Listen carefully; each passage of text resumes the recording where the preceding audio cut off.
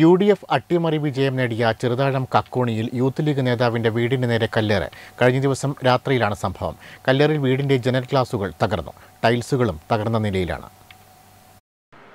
ചെറുതാഴം ഗ്രാമപഞ്ചായത്ത് പതിനാറാം വാർഡ് കക്കോണിയിൽ യു ഡി എഫ് അട്ടിമറി വിജയം നേടിയതിന് പിന്നാലെ വാർഡിലെ യൂത്ത് ലീഗ് ഭാരവാഹിയുടെ വീടിന് നേരെ കല്ലേറുണ്ടായി. കഴിഞ്ഞ ദിവസം രാത്രി പതിനൊന്നര മണിയോടെയാണ് സംഭവം. Cheruthazham കക്കോണിയിലെ youth league panchayat treasurer Cheerankulangara തമീമിന്റെ വീടിന് നേരെയാണ് അക്രമം നടന്നത്. കല്ലേറിൽ വീടിന്റെ മുൻവശത്തെ ജനൽ ഗ്ലാസുകൾ തകർന്ന് കരിങ്കല്ലുകൾ വീടിനകത്ത് ചിതറിയ നിലയിലാണ്. ടൈൽസുകളും തകർന്നിട്ടുണ്ട്.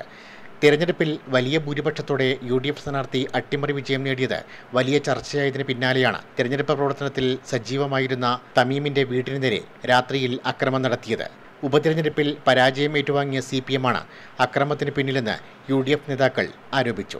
ഉപതിരഞ്ഞെടുപ്പിൽ യു ഡി എഫ് വൻ ഭൂരിപക്ഷത്തോടു കൂടി വിജയിച്ചതിൽ വിരളി പോണ്ട സി പി എമ്മിന്റെ ക്രിമിനൽ സംഘങ്ങൾ ചെറുതായം പഞ്ചായത്ത് യൂത്ത് ലീഗിന്റെ നേതാവ് ട്രഷററും കൂടിയായ തമീം സാഹിബിന്റെ വീടിന് നേരെ തുരുതുര കല്ലെറിയുകയായിരുന്നു. രാത്രി പതിനൊന്നര മണി കഴിഞ്ഞതിന് ശേഷമാണ് ഈ ഒരു അക്രമം ഉണ്ടായിട്ടുള്ളത്. ഭാഗ്യം കൊണ്ടാണ് തമീം രക്ഷപ്പെട്ടത്. കാരണം അവൻ വീടിന്റെ ആ ഗ്ലാസിന്റെ ജനലിന്റെ അടുത്ത് തന്നെ അവനുണ്ടായിരുന്നു. പക്ഷേ ഒരു ഏറ് വീണ പാട് തന്നെ ആ സൗണ്ട് കേട്ടപാട് അവൻ അവിടുന്ന് മാറി മാറുകയായിരുന്നുണ്ട്.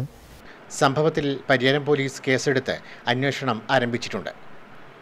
Network news Pilathara.